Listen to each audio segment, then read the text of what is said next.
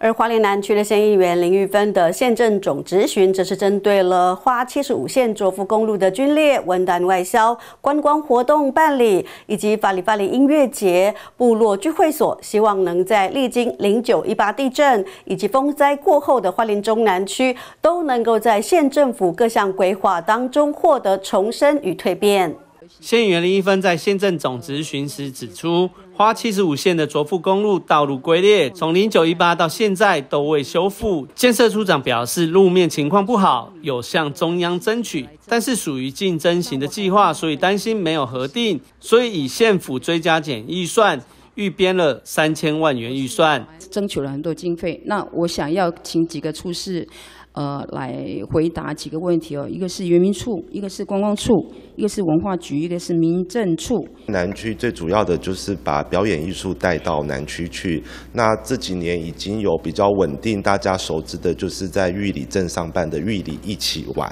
好，大概是两天的时间，含一些呃儿童的一些艺术的表演的活动。那已经在玉里的玉里、富里还有卓溪的乡亲，大概都很知道这样子的活动。那我们今年又把这些儿童的节目直接带到卓溪乡去，是好，那就尽量能够让大家都能够享用得到。那这是目前的努力。其实我比较重视的就是部落建设跟我们南区的一个建设，所以我要求各级处室能够提出他们的对南区的一个建设或者观光的部分、文化的部分的一个提升，他们有什么计划能够说出来。那另外就是我们在聚会所的部分，我比较在意的就是其他的，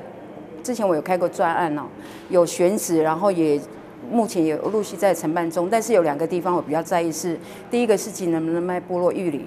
因为它的工程的它的经费到这个月底要收回去，必须要跟厂商做一个结算了，所以这个我请我们民处要仔细的来呃催促一下。再就是我们武冈部落去年完工之后，一直都没有验收啊。那刚刚有报告就说他可能呃过几天还在复验。那可能应该是比较没有什么问题，所以这个部分一年都没有没有验收，这是也是觉得蛮讶异的啊。这个部分，那再来就是文旦的这个产销部分，我这几年其实一直跟着农民一起做这个产销，我也帮忙卖、帮忙出货，然后帮他们行销，那也跟他们在一起，觉得真的体认到他们真的非常辛苦。那在过程里面，真的是被这个我们的这个盘商啊。呃，这几年都是被被弄到非常低的价位，所以我也感觉这个部分应该农业处要呃责无旁贷来协助，那能够用各种方式来协助，不管是补助也好，或者中国大陆的运呃呃行销就是出口的部分，那我们有很多研究报告都出来，是不是都可以拿来一起做研究之后，把我们的文旦能够好好的行销，希望明年的文旦能够呃不要让农民再那么痛苦。有关交通的部分，是我比较关注在我们卓卓富公路七十五号乡道的这个部分，因为从零九一八灾修灾害之后严重受损，然后又经过数次的台风，那我们整个路面都都也也倾斜，然后龟裂，然后整个也是呃残破不堪哦。那一年呢？从那个零九一八到现在一年多，一一直没有修复，所以我非常在意，所以我我就要求我们，其实三呃四月份定期会的时候，我就有咨询这一块，那当时是说会做，那到现在还没有做，我们是有点真的是非常有点担心我们所有族人的安全，还有这个路是我们卓溪乡唯一的连外道路，对我们的呃乡民的这个就学、就业、就医。各方面的权益都很受损了，所以我会希望县政府能够尽速来把这条路能够铺设完成，然后有一个安全的路回家。